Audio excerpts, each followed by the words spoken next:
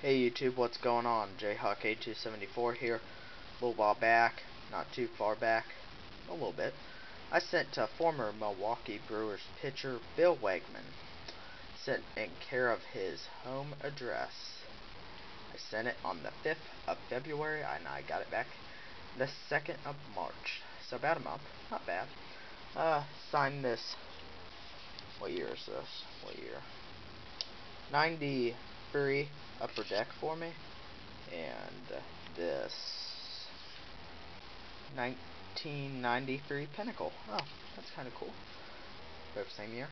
And uh, then he also included a little religious book about discover four simple laws Then this little thing that says check this out crazylovebook.com click on videos click on stop and think. So, kind of cool to get that. You know, I think that's cool. I'm weird, but anyway. Got these back. They're both signed pretty nice in uh, blue Sharpie. So, good success. Happy I sent to them. You don't see too many people sending to them, so it's cool. And uh, thanks, Mr. Wegman, for signing my baseball cards. And uh, I'll catch you guys later. See ya.